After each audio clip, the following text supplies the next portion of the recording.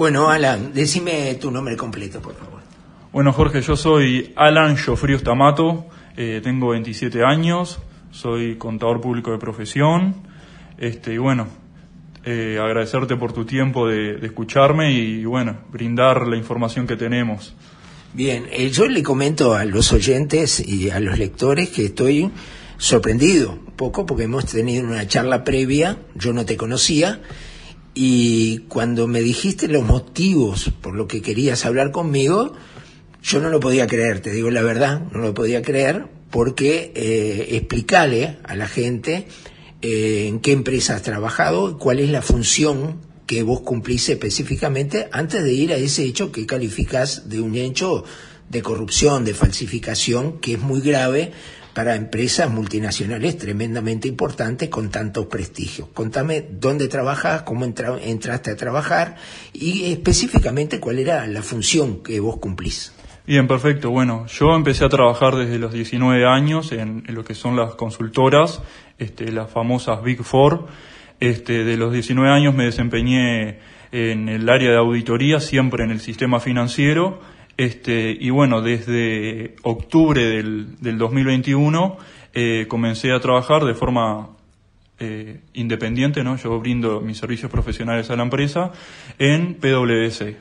Este, eso es a modo de resumen, digo, ya tengo 27 años, de los 19 que trabajo siempre en auditoría, en el, sistema financiero, y desde octubre trabajando eh, para PwC o PricewaterhouseCoopers, este, auditando al Banco Santander. Eso es a, modo de resumen y de introducción, ¿cuál es mi tarea? Mi tarea es trabajar como auditor externo.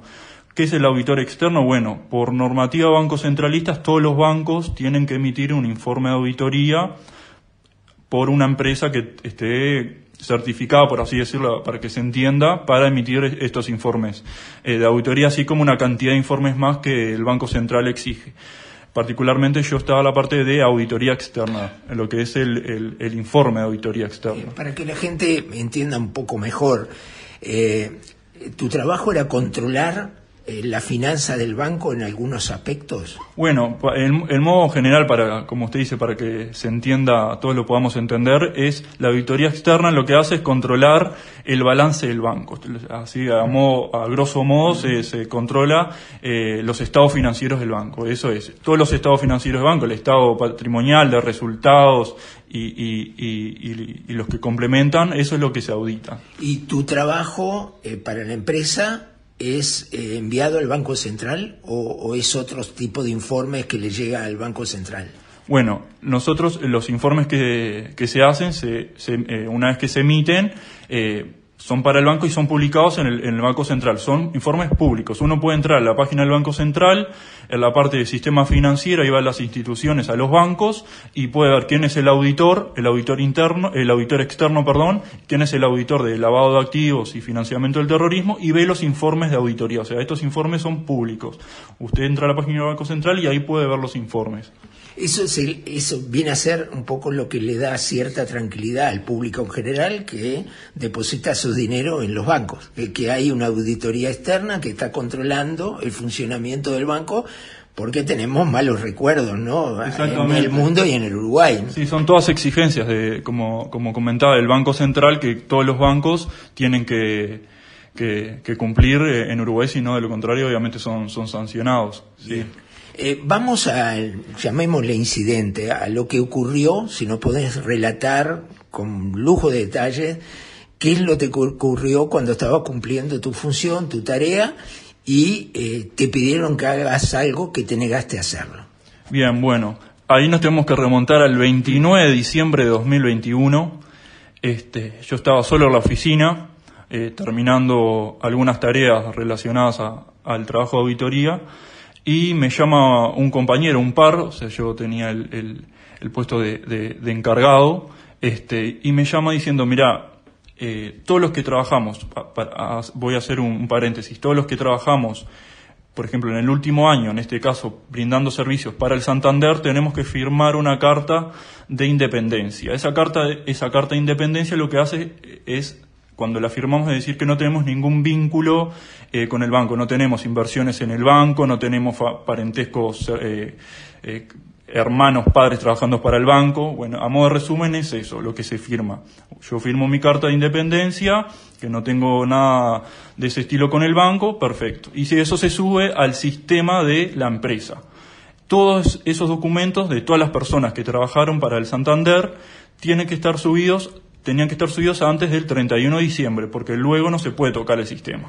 Entonces, ¿qué pasó? Ese 29 de diciembre, este, un día antes, porque trabajamos hasta el 30, me llama un par, eh, un compañero, y me dice, mira Alan, nos está faltando la carta de, de una persona que trabajó para el Santander que no la estamos pudiendo ubicar, se, dejó todo obviamente para último momento, y me pidieron extraoficialmente que te diga extraoficialmente si puedes imprimir la carta y falsificar la firma y subirla al sistema. A ver, era un compañero, un par, que lo habían mandado a hacer el mandado. Yo ya sabía de antemano quién era la persona, entonces yo le dije a esta persona, eh, desentendete del tema, perfecto. Le corté y enseguida videollamada con la gerente senior que había mandado hacer, que le dijo a él, eh, a ver, que me llama a mí para hacer esto, la, señora Adriana, Adriana Latorre. O sea, esta señora eh, Adriana Latorre, la que vos tenías la plena seguridad que le había dicho a tu par que te llame, que imprimas, falsifiques y eh, subas ese documento falsificado al sistema de, tu empresa. Exactamente. ¿Qué te dijo ella? ¿Hablaste? Bueno, eh, hice una videollamada, le dije, bueno, Adriana, te estoy llamando por el tema de la carta. Este, me parece de muy mal gusto, eh, que va en contra de, mis valores, de mi forma de ser, de mi ética, de mi ética personal, de mi ética laboral. Eh, yo no voy a firmar ninguna carta este, a lo que me dijo de que la socia lo había autorizado, o sea, una forma de imponer la autoridad para decir, la socia dijo que, ese, que hagamos este procedimiento. A ver, lo entendemos así. Te dijo que había llamado a quien le tenías que falsificar la firma o quien te pedía y ella había dicho firmen por mí. No, lo que sucedió es que ella, al, yo decirle de que le estaba llamando por el tema de la carta y que eso no le iba a hacer, ella lo que dijo es, ella tiene el cargo de gerenta senior. Por arriba está el director y, está y están los socios de la empresa.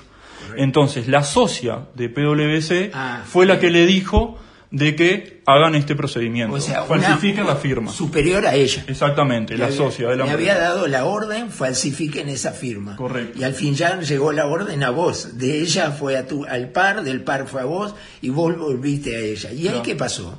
Bueno, en ese momento yo le dije, esto yo no lo voy a hacer, eh, como le decía, va en contra de mi ética, de mi forma de ser. Yo soy una persona que sobre todo tiene valores que me inculcaron mis padres, que sé eh, cuál es el camino correcto y cuál no, a lo que me negué a hacerlo. Eso fue el 29 de diciembre. Bueno, después de eso, eh, la primera semana de licencia de enero... ¿Ella te liberó de hacer eso? Sí, sí, me dijo, desentendete del tema. Ah, correcto. Desentendete del tema. Este, ahí qué sucedió. Pasó la primera semana de enero, donde a mí me quedó eso pensando en la cabeza digo, a ver, ¿por qué me pasó esto a mí? Eh, ¿Por qué me llaman para que yo imprima un documento, lo falsifique? A ver, la trascendencia que tiene es un documento de, confidencia, de independencia, que eso son documentos confidenciales dentro de la, obviamente, la empresa, que es para asegurarse de que con el cliente, en este caso el Banco Santander, este, no tenga ningún vínculo. Digo. Eh, son, eh, perdón, me quedo esto en el tintero y estoy seguro mucha gente te lo pregunta. Si ese documento eh, lo hubiera firmado, lo hubiera escaneado y lo hubiera subido, ¿quién lo ve? ¿Lo ve solo alguien de la empresa o es público eso? No, eso es un documento que nadie lo iba a ver porque queda en el sistema de la empresa. O sea, si yo hubiera aceptado hacer eso, nadie se enteraba de que eso hubiera pasado. O sea, se hubiera tapado totalmente. ¿eh? Así como un documento más, un documento más. Es decir, que pudo haber pasado siempre también esto. Bueno, eso fue algo de que a continuación le, voy a explicar donde es algo que a partir de declaraciones de, del socio director de la empresa en una de las charlas posteriores que tuvimos se me dijo de que esto es algo que ocurre con frecuencia. Pero yendo así de forma... Sí, eh, eh, Bien, perfecto. Bueno, la primera semana de enero yo estaba de licencia este, y me quedé pensando, digo, esto no puede quedar así, porque yo sé que tengo la personalidad de, haber, de poder haber dicho que no, pero yo no quiero de que si alguien entra a la empresa, alguien que es joven, que recién está teniendo su primera experiencia laboral y le dicen hace esto, tenga miedo de decir que no por, para quedarse sin trabajo, perder el laburo. Este, entonces dije, a ver, esto yo lo tengo que denunciar. Vamos a ir, a ver, estas empresas multinacionales, eh, eh, tanto a nivel local en cada país o a nivel eh, regional o en lo que tiene que ver la parte global, tienen sus este, oficinas de ética. Entonces lo que hice fue directamente comunicarme con la parte de ética global. Mandé mail explicando la situación a, Estados Unidos, este, obviamente no le iba a reportar a Uruguay cuando son personas que se conocen todas hasta hace 25 años. Esta persona, Adriana, que me llamó, conoce al, al socio director hace 25 años, 20, 25 años. Entonces no me da ninguna seguridad de que esto, a ver, yo estaba, la seguridad que tenía es que si yo lo denunciaba acá, esto se, lo iban a tapar. Este, y, y después con lo que sucedió lo, eso lo confirmé. Entonces, mandé mail a Estados Unidos, a las cuatro horas, de forma muy sorprendente por la velocidad, me respondieron que querían tener una videollamada conmigo, donde yo les expliqué la situación, me pidieron de que les mande, eh, como es, la, lo que tenía, eh, o sea, las pruebas, en este caso yo tenía, tenía la comunicación, eh, donde, se me, donde se me dijo eso, el tema de que la socia lo había autorizado, donde yo dije que me había negado a hacerlo y los motivos, los mails que me habían mandado con la carta, este, para que yo realice esa falsificación. Y bueno, me dijeron, bueno, esto lo vamos a derivar al líder regional que está en Perú para que se maneje el tema. Perfecto. Eh, se lo trasladaron a, al, al, socio de Perú, que es el, también el líder regional de ética, para que él lleve a cabo la investigación. A la semana tengo, me llaman para tener una videollamada el socio director de Uruguay, Omar Cabral, este, obviamente que toda la investigación es confidencial y nadie, no se pueden dar datos a ninguna persona que no esté dentro de la investigación este, sobre lo que está ocurriendo. En esa llamada suma un socio, a Oscar Conti, que violando eh, la investigación que es confidencial, sumó a esa persona que no podía haberla sumado porque era algo confidencial. Ahí eh, eh, Toda la conversación fue básicamente un 99% Omar hablándome a mí, donde primero lo que me dijo es que no entendía por qué había tenido que eh, recurrir al canal global y no venir a Uruguay y me dijo, bueno, seguramente no conoces cómo, cómo funciona acá en Uruguay porque entraste hace poco. Obviamente yo no le iba a decir, no voy a denunciar y comentarte la voz cuando conoces a esta persona no hace 25 años. Entonces eh, yo le digo, bueno, porque lo que sucedió es una práctica de corrupción, porque una de las definiciones de corrupción de la Real Academia Española, que la corrupción es cuando como que los valores, la ética, es como que se ve desvirtuada, por así decirlo. En otras palabras, esa es una de las definiciones de corrupción. Este, entonces es lo que me dice, bueno, pero si vos pensás que toda la empresa es corrupta, ¿por qué, en otras palabras, por qué seguís trabajando acá? No deberías buscar nuevos caminos, por así decirlo. O sea, ya se me quería apartar de, la empresa, que me fuera. Y yo le, yo le dije en ese momento, a ver, si yo creería que toda la empresa es así, hubiera tomado otro camino, porque yo, eh, cuando tuve la comunicación con Estados Unidos y después con Perú, dije que yo tenía, en ese momento eran tres alternativas. Una, querer resolverlo internamente por, la, por el camino de la ética, del, sector de ética, hacer la, una denuncia penal o renunciar a la empresa y que esto quede como si nada. Yo le dije eh, que lo que quería hacer era resolverlo por la parte de, del comité de ética, por así decirlo. Este, y bueno, y entonces después me comentó de que, a ver, de que esta era una práctica de que ocurría con, con, frecuencia en, Uruguay y yo le dije, sí, la verdad es que no tengo duda porque con la naturalidad que se me pidió no, no hay duda de que esto es algo que pasa frecuente, a lo que él asintió. Eh, eso te decía Cabral. Eh, cuando te dijo esto ocurre con frecuencia en Uruguay, se estaba refiriendo a la propia empresa. Exactamente. No al país. No, no, que, la propia empresa, que PwC es una práctica que hace eh, de forma recurrente el tema esta de, falsificación de, documentos. Este, y me, es más, añadió, de que diciendo, como justificando, bueno, Latinoamérica somos más laxos. A ver, si esto sucede en un país de Europa, seguramente, seguramente no tenga consecuencias muy graves. Este, a lo que yo obviamente al escuchar de parte del socio director que me diga que esto es una práctica recurrente en Uruguay era algo que en ese momento estaba confirmando lo que él previamente me había dicho. Esto realmente es toda la empresa que es, que, es corrupta, porque si él es el socio director y él está diciendo de que es una práctica recurrente, este, bueno, entonces después de, esos comentarios, a, mí lo que se me dijo, bueno, se te va a separar del grupo, no vas a trabajar más para el cliente Santander, por obvios motivos, porque, a ver, a las personas que denunciaste no les cayó bien eh, este tema, de que los hayas denunciado, y como vos previamente habías consultado sobre qué se trataba el tema de, del área de forenses, de, la auditoría forense, que se trabaja en Uruguay en conjunto con Argentina, pensamos que vos podés empezar a trabajar desde Uruguay eh, para el sector este de Argentina. Este, entonces dice, bueno, se van a estar comunicando contigo para tener entrevistas. Bueno, entonces a las semanas, a, los, a semanas posteriores tengo una entrevista de uno de Argentina, de este sector de forensis, que es, eh, es auditoría forense, como que se va más a, la, investigación de casos de, corrupción de empresas o, es más, más investigativo, por así decirlo. Bueno, tengo una primera entrevista con una persona que ni siquiera sabía que yo trabajaba en la misma empresa. Este, le conté un poco sobre mi experiencia, una típica entrevista laboral, y me dijeron, bueno, en caso de avanzarse, te, van a tener una segunda entrevista con el director. Bueno, después eh, me contactan para tener una entrevista. Tengo eh, una entrevista con el director Andrés Arcuno de, Argentina este, y, una, y una gerenta donde tengo toda la entrevista con este señor, en el cual en toda la entrevista eh, fue muy hostigante y, se me habló en muy mala forma. Eh, yo entendiendo de que muchas preguntas me las hacía como diciendo, a ver, me hacía preguntas básicas como diciendo, a ver, como que no, me hacía entender como que yo no, no sabía del trabajo, cuando hace ocho años que trabajo en esto. Este, y bueno, ¿qué pasó? Después lo que sucedió es, bueno, me llama eh, a, la, a la, él me dice, bueno, vamos a seguir con las, con las, con las, con las entrevistas y en caso de quedarte avisamos. A, la semana por ahí me llama Oscar Conti, esta persona que, eh, este socio que metieron la investigación de forma inadecuada, me dijeron, bueno, se, van a, se, va a comunicar contigo eh, eh, el director de Argentina para que comiences los labores con, eh, con, bueno, con Argentina. me dijo, creo que, el mañana te van a llamar. Yo estuve todo el día esperando, nadie me llamó.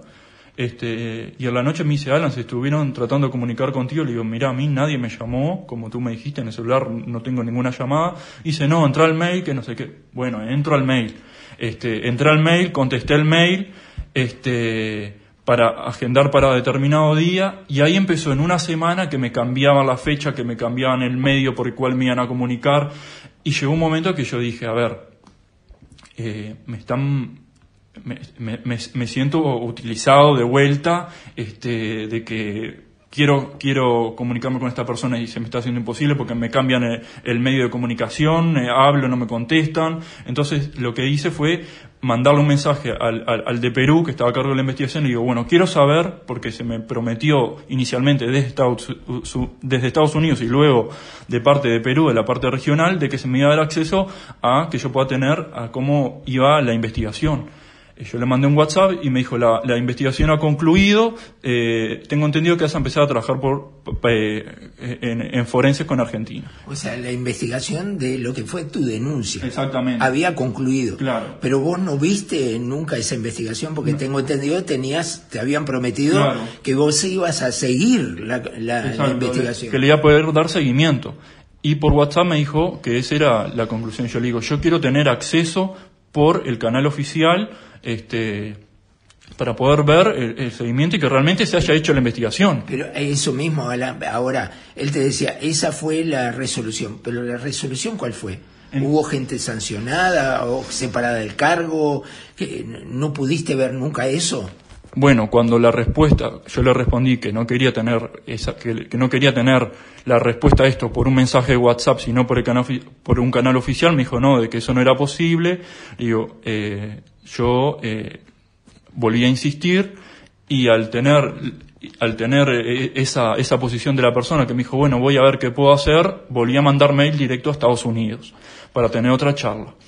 Entonces ahí en Estados Unidos le comenté desde la última charla que tuve, que fue la inicial, cuando denuncié la situación que se me había eh, querido, se me dijo de que falsificara una firma y después se me, se me apeló a la autoridad, a la socia que había dicho de que se tenía que hacer, como generándose miedo este, para que lo firmaran, le conté la charla que había tenido con Omar Cabral, el socio director, que habían incluido a, otro socio, le conté esto, de que era una práctica de que ocurría, me, me decía lo que el socio me dijo, que era algo que ocurría con frecuencia, de que en Latinoamérica somos más laxos, y bueno, la persona, esta mujer de Estados Unidos, la cara le, cambió completamente cuando yo le dije esto. Es más, y me dijo en un, en un momento, este, me comentó, eh, también estaba otra persona que la acompañaba, que también, también hacía de, de traductora para a veces con el tema del, de, para que no haya dudas en todo lo que, en toda la comunicación, de que si hay una traductora es mucho más claro todo lo que se dice. Este, dice, bueno, Alan, te quiero hacer una pregunta, es porque a nosotros nos dijeron, nos justificaron de que en realidad eh, es un procedimiento de la empresa de que se falsifiquen documentos y cuando llegue el original se, se reemplaza por el mismo a lo que yo quedé helado a escuchar desde que desde la investigación de Perú con Uruguay se le haya dado esa justificación a la parte global de ética de la empresa de que eso era una práctica habitual, cosa que yo negué en el eh, apenas me preguntó Alan, vos te estás enterado de que esto le digo, no, eso no es así, no existe, no existe en esta empresa ni en ninguna parte del mundo de que vos falsifiques un documento y después lo reemplaces por un original. Este, entonces me dijo, bueno, ahora vamos a... Eh, la parte global, o sea, los directores globales de ética se van a encargar de la investigación y vas a estar a, y te vamos a mantener al tanto. Este, bueno, concurrió, eh, pasaron un par de semanas y me dijeron, bueno, Alan, la investigación concluyó, eh, se, se, se verificó de que realmente hubo violación a las políticas de ética de la empresa, o sea que se había cometido corrupción, este, y todas las personas involucradas fueron todas sancionadas. Este, por un tema de confidencialidad, no te puedo decir qué sanción obtuvo cada persona, pero todas las personas involucradas, este, los socios, los gerentes, eh, fueron, todos, fueron todos sancionados, este, y ahora se te va a dar un seguimiento a vos de que cuando se haga una evaluación, porque en estas empresas se hacen evaluaciones de rendimiento, desde Estados Unidos se va a controlar de que no te pongan nada que tenga que ver con el hecho que vos denunciaste. Y bueno, este, eh, la, una de, las directoras de ética dice, sugirió de que bueno, que puedas seguir trabajando con Argentina, lo que yo me negué porque dije, les dije que había tenido esa primera, esa segunda charla con el director de forenses, eh, de forensis y, y, que había sido muy, muy hostil y me dijeron que en realidad a él se le había dado la orden de que vos tenías que trabajar para, para, para Argentina, entonces por eso es que yo lo podía haber percibido de esa manera. Y yo le dije, a ver, yo no puedo trabajar con una persona que no me quiera en el equipo. Entonces me dijeron, bueno, probá tres, seis meses que capaz que después aparece alguna oportunidad en Estados Unidos o, o en alguna parte que se necesita, en la parte de ética y, y, y este sector forensis. Yo le digo, yo esto, yo sé que no va a funcionar porque, a ver, también hace ocho o más de ocho años que, trabajo y estudio mucho, trabajo internamente en, en, en, en, estudiar el tema de comunicación, de microexpresiones faciales, negociación, todo lo que tiene que ver y ya me di que esa persona no me quería. Entonces, ¿qué pasó? Me dice, bueno, pero podés mandarle un mail a la persona, a ver, intentarlo. Le digo, bueno, vamos a intentarlo. Eso fue un viernes. El lunes le mandé un mail y digo, bueno, a ver cuándo, eh, para agendar una, una, una videollamada. Entonces él a los tres días me responde, dice, me puse, me puso, buscame en la agenda de la semana que viene un hueco de 15 minutos, así tenemos una videollamada. Yo busqué su agenda eh, por la computadora, le agendé una reunión de 15 minutos, entraba el día anterior para ver si él me la había aceptado, como no me la aceptó, prorrogué, le busqué otro lugar más adelante la agenda de 15 minutos como él me pidió, entraba antes, como no me la aceptaba, volvías y cuando fue la tercera vez dije, ya está. Yo traté de hacerlo todo de la mejor manera internamente, este, para que se resuelva, pero veo de que esto ya se, se, desbordó, ya es algo de que las represalias continuas contra mi persona, personales por el hecho, este, eh, ya superaron mi, mi buena voluntad de quererlo solucionar internamente, este, y que yo en ese, en ese momento ya, ya me da, ya tomé conciencia de que la aquella primera pregunta, ¿crees que, que toda la empresa comete corrupción? Bueno, yo ya estaba seguro de que, de que, de que en realidad era así. Entonces mandé un mail a Estados Unidos para tener otra charla en la que comuniqué que yo iba a tomar el canal, eh, que ya no iba a seguir por este canal de, querer seguir mediando, este, de que, porque después de cuatro meses no, había tenido ninguna respuesta, de que iba eh, eh empezar a, ya había tenido conversaciones con mis abogados y en ese momento cuando eh, les dije de que de que hasta acá llegaba, este, me dijeron, bueno, pero para darnos dos semanas, que capaz que podemos encontrar algo en Estados Unidos, que capaz que te conseguimos el tema de la visa, que le digo, miren, mi, posición no va a cambiar. Me dijeron, bueno, denos dos semanas para que abramos una nueva investigación sobre este tema de que de Argentina, de que no te dejan, no, no puedes confirmar la cita, este, y te volvemos a contactar. Este, pero no te estamos diciendo de que no continúes con tu tema eh, legal que obviamente continúe obviamente indagando y investigando y hablando con los abogados. Este, a la semana me mandan un mail a mi mail personal 12 menos cuarto del mediodía, a ver si a la, eh, perdón, una menos cuarto de la tarde, a ver si a la una podía tener una videollamada. Obviamente yo eh, no, no, no, no, no, no, vi el mail porque no tengo eh, no estoy con el celular 24 horas pendiente, lo vi a la, a la hora. O sea, me mandaron un mail a ver si a los 15 minutos ya podía tener la videollamada. Entonces ese mismo día después les dije, bueno, agendamos para mañana y, ahí tuvimos eh, la semana pasada este, la conversación, la videollamada, que yo esperaba que esa conversación sea los resultados de... ¿Con quién era? Esto es con Estados Unidos. Ah, siempre con, Estados Unidos. Este, que me den un... ellas lo que me habían dicho que iban a hacer una investigación. Entonces me dice, Alan, ¿recibiste eh, que el socio de Argentina, no el director, sino ahora involucraron al socio, eh, recibiste que te mandó dos contratos de trabajo, uno para rescindir tu contrato con, con la parte de auditoría y otro para hacer un contrato nuevo con la parte de forense? Y yo le digo, a ver, yo esta charla ya la tuvimos, yo dije que con Argentina no iba a trabajar por la forma hostil que se me, que se me trató, este, pero, me, pero a lo que me dijeron, no, pero es el socio el que te está mandando la carta. A ver, es el mismo equipo, son las mismas personas y yo con el socio no es que vaya a trabajar, yo voy a trabajar con los demás.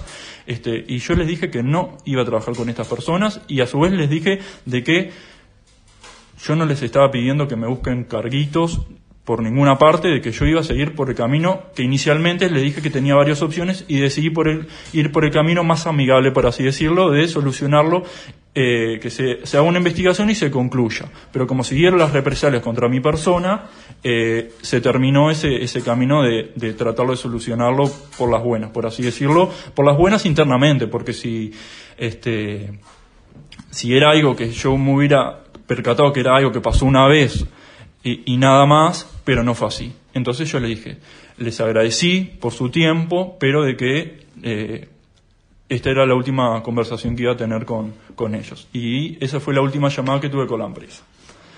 Bien.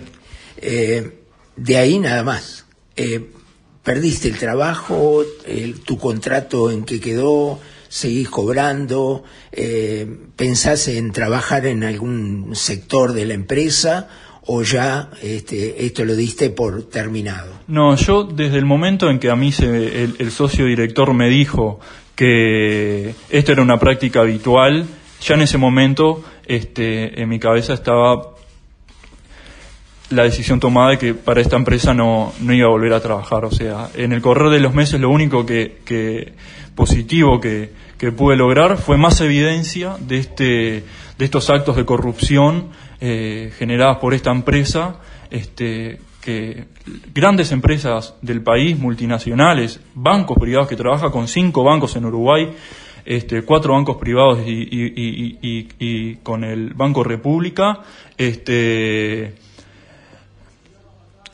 cometa estos actos de, de, corrupción y de falta de ética, ¿no? que se basan muchas veces en el prestigio. Dije, esto, yo no quiero que esto quede de esta manera.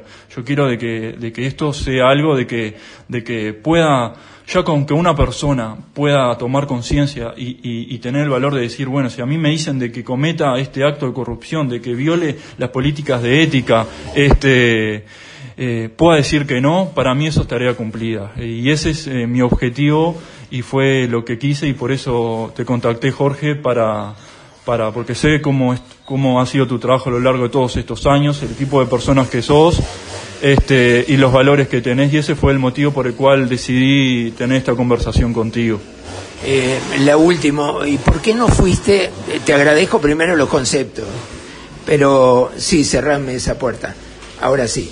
Eh, te agarré, agradezco mucho los conceptos eh, sobre mí, sobre el medio que yo humildemente dirijo, pero otros medios más importantes, de mayor difusión, de mayor trayectoria que el Bocón, quizás le podían haber dado otra difusión mucho más importante que estoy seguro es lo que vos pretendés también. Eh, le agradezco la pregunta a Jorge y la respuesta es muy simple. Eh, mi forma de ser, mi personalidad y mis valores, eh, yo me siento muy, muy representado en usted en ese sentido. Y esa es, es tan simple como eso. Yo sé que su trabajo, que siempre va en busca de la verdad, de querer defender la verdad, de denunciar los hechos de corrupción, eh, para que no todo siga igual, porque si, si yo no estoy sentado en este momento denunciando este hecho, esto se tapa y nadie se entera de los, de los hechos de corrupción que, que ocurren. Entonces, ese es el motivo por el cual decidí eh, contactarlo a usted, porque sus valores y su forma de ser y su ética están muy alineadas a, mi forma de ser y, no tengo ni, ningún interés en, otro medio de comunicación, por más grande, chico que sea, yo me siento cómodo con usted por eso mismo. Alan, te agradezco. Sabes que vas a tener consecuencias, ¿no? Sobre todo laborales. Pues no, no tenés miedo de que digan, bueno, mira, este, el contador este, viste, salió a denunciar algo y que eso te limite laboralmente eh, tu, tu proyecto futuro de trabajo en el Uruguay? No, de ninguna manera. Yo estoy muy convencido de que este es el camino correcto, del camino que elegí para mi vida, para mí, que es eh, siempre ir por el camino de la verdad. Siempre mi madre desde chiquito me inculcó la bandera de la verdad, este, y yo sé de que, de que tiene que ser así, y estoy convencido de eso, y no, no tengo miedo a, a, eso que usted me comente de que eh, si yo quiero postularme para otro trabajo me digan que no, para nada, eso en absoluto. Gracias, Alan, por todo. ¿eh? Este, y por supuesto, como te lo prometí, lo vamos a difundir lo más que se pueda, esto que te pasó. Bueno, Jorge, muchas gracias a ti por tu tiempo y a la audiencia que nos está escuchando. Espero poder haber plantado esa semillita de la bandera de la verdad. Muchísimas gracias. Gracias.